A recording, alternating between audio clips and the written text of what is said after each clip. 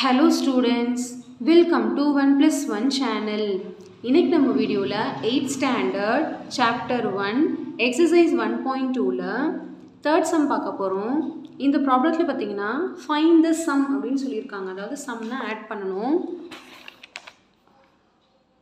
Seven by five plus three by five so சம்னா addition அர்த்தம். அடிஷனில் ஒன்று ஆட் பண்ணணும்னு அவசியம் அர்த்தம் கிடையாது. ஆப்ரேஷன் அடிஷன் அர்த்தம். சரிங்களா? ஆப்ரேஷன் இப்போ அடிஷனாக இருக்குது இப்போ அடிஷன் அப்படின்னாலே நம்ம டினாமினேட்டர் சேம் பண்ணணும் இல்லையா? டினாமினேட்டர் தான் செக் பண்ணணும். மல்டிப்ளிகேஷன் டிவிஷனுக்கு டினாமினேட்டர்லாம் செக் பண்ண வேண்டாம். அடிஷன் சப்ராக்ஷனுக்கு டினாமினேட்டர் செக் பண்ணணும். ஸோ இப்போ டினாமினேட்டர் பார்த்தீங்கன்னா சேமாக தான் இருக்குது அப்போ சும்மா ஜஸ்ட் அப்படியே ஆட் பண்ணிக்கலாம். Numerator seven plus three ten by five denominator அப்படியே போட்டுக்கணும். ஃபைவ் ப்ளஸ் ஃபைவ் டென்னுலாம் எழுதக்கூடாது. இப்போ இது பார்த்தீங்கன்னா சிம்பிளஸ்ட் ஃபார்மில் தான் எழுதணும். ஸோ இதை கேன்சல் பண்ணலாம். ஃபைவ் டேபிளில் five one jar five five two jar ten so answer பார்த்தீங்கன்னா டூ டூ பை ஒன் வந்து டூ நெக்ஸ்ட்டு பாருங்கள் seven by five plus five by seven so இதை வந்து ஆட் பண்ண சொல்லியிருக்காங்க. ஸோ இப்போ இது பார்த்தீங்கன்னா டினாமினேட்டர் வந்து சேமாக இல்லை. அப்போ டினாமினேட்டர் வந்து சேம் பண்ணணும்னா எல்சிஎம் எடுக்கணும். ஃபைவுக்கும் செவனுக்கும் ஸோ நமக்கு ஆல்ரெடி தெரியும். ரெண்டுமே ப்ரைம் நம்பராக இருக்கிறதுனால அந்த நம்பரை அப்படியே மல்டிப்ளை பண்ணி வர்றது தான் எல்சிஎம் கரெக்டுங்களா தேர்ட்டி ஃபைவ் தான் எல்சிஎம் அப்போ இதை தேர்ட்டி ஃபைவ் ஆக்கணும்னா இதை செவனால் மல்டிப்ளை பண்ணணும். இதை தேர்ட்டி ஃபைவ் ஆக்கணும்னா இதை ஃபைவால் மல்டிப்ளை பண்ணணும். அப்போ seven by five into seven by seven plus five by seven into five by five அப்படியே நேராக எழுதிக்கிறேன் நான். கீழே கீழே போடுறேன் seven sevens are forty nine five seven jar thirty five plus five five jar twenty five seven five jar thirty five இப்போ add பண்ணலாம். Thirty five வந்து டினாமினேட்டர் ஃபார்ட்டி நைனையும் டுவெண்ட்டி ஃபைவும் ஆட் பண்ணிக்கலாம் இப்போ.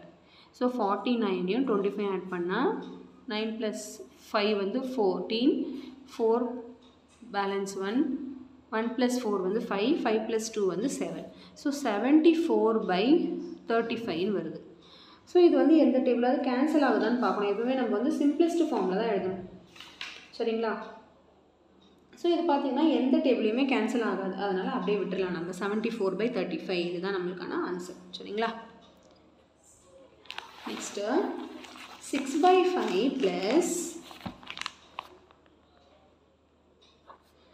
six by five plus minus fourteen by fifteen இது என்ன பண்ணணும்னு பார்க்கணும்.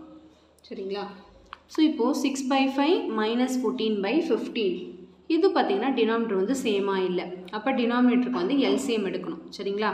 ஸோ ஃபைவ் டேபிளில் five ones are five five three are fifteen மறுபடியும் three table one are one jar so LCM பார்த்தீங்கன்னா ஃபைவ் இன்ட்டு த்ரீ ஃபிஃப்டீன் தான் எல்சிஎம் இப்போ இங்கே ஃபிஃப்டீன் ஆக்கணும் இங்கே ஃபிஃப்டீன் ஆக்கணும். இங்கே ஃபிஃப்டீன் ஆக்க வேண்டாம். ஆல்ரெடி ஃபிஃப்டீன் தான் இருக்குது அப்படியே வச்சுக்கலாம்.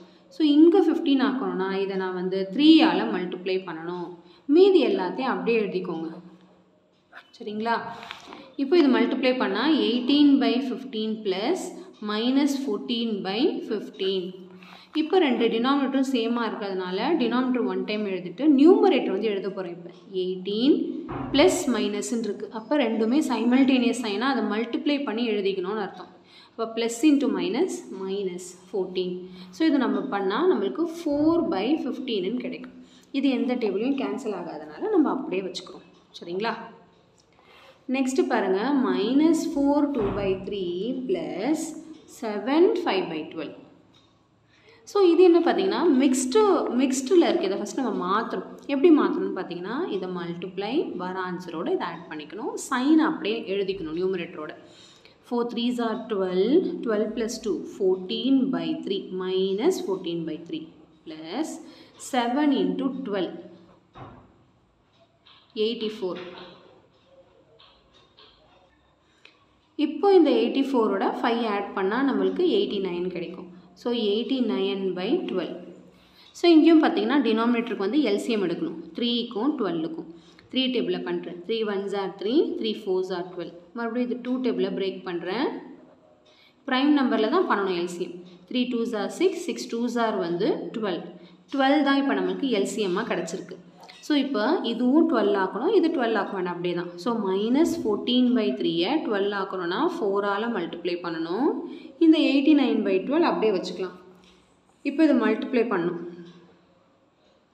ஃபோர் ஃபோர் தான் sixteen six balance one four one sir minus fifty six by twelve plus eighty nine by twelve இப்போ ரெண்டு டினாமிட்டரும் சேம் ஆயிடுச்சு நியூமரேட்டர் அப்படியே எழுதிக்கோங்க. Minus fifty six plus eighty nine இப்போ இது பார்த்தீங்கன்னா ரெண்டுமே டிஃப்ரெண்ட் சைனாக இருக்குது minus fifty six plus eighty nine different சைனாக இருந்துச்சுன்னா சப்ராக்ட் பண்ணிவிட்டு பெரிய நம்பரோட சைன் எழுதணும். இப்போ இது டிஃப்ரெண்ட் சைனாக இருக்கிறதுனால சப்ராக்ட் பண்ணிவிட்டு பெரிய நம்பரோட சைன் எழுதணும். சப்ராக்ட் பண்ணும்போது பெரிய நம்பர் தான் மேலே எழுதணும் சின்ன நம்பர் கீழே எழுதணும். நைன் மைனஸ் சிக்ஸ் வந்து த்ரீ எயிட் மைனஸ் ஃபைவ் வந்து த்ரீ அதாவது தேர்ட்டி த்ரீ பை டுவெல்னு வந்திருக்கு. இது பார்த்தீங்கன்னா த்ரீ டேபிளில் கேன்சல் ஆகும். Three ones are three three ones are three three fours are twelve so answer பார்த்தீங்கன்னா லெவன் பை ஃபோர் இதை இப்படியும் விடலாம். இல்லைன்னா நீங்கள் வந்து இது வந்து இம்ப்ராப்பர் ஃப்ராக்ஷனாக இருக்கு இல்லையா? மிக்ஸ்டு ஃப்ராக்ஷனாக மாற்றி எழுதலாம். ஏன்னா கொஷின் வந்து மிக்ஸ்டு ஃப்ராக்ஷனில் தான் கொடுத்துருந்தாங்க இல்லையா? இதையும் வேணால் நீங்கள் மாற்றிக்கலாம் எப்படி மாற்றணும்னா ஃபோர் லெவன் டிவைட் பண்ணணும். Four threes four twos are eight balance வந்து த்ரீ அதாவது கோஷன் ரிமைண்டர் பை டிவைசர்னு எழுதணும். Quotient remainder by divisor two three by four இப்படியே விட்டாலும் கரெக்டாக தான் ஒன்றும் தப்பு கிடையாது. அதாவது கொஷின் வந்து மிக்ஸ்டு ஃப்ராக்ஷனாக இருந்ததால நம்ம ஆன்சரையும் மிக்ஸ்டு ஃப்ராக்ஷனையும் அந்த கொண்டு வரோம் அவ்வளோதான் வேறு ஒன்றும் கிடையாது சரிங்களா? ஸோ கண்டிப்பாக இந்த சம்ஸ் நல்லா உங்களுக்கு கிளியராக அண்டர்ஸ்டாண்ட் ஆயிருக்கும்னு நினைக்கிறேன்.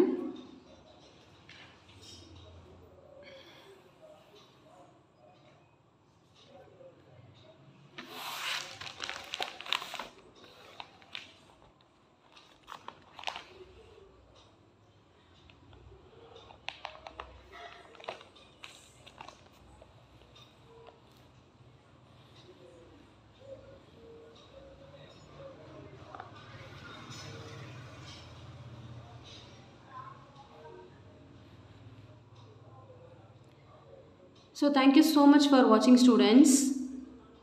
Bye bye.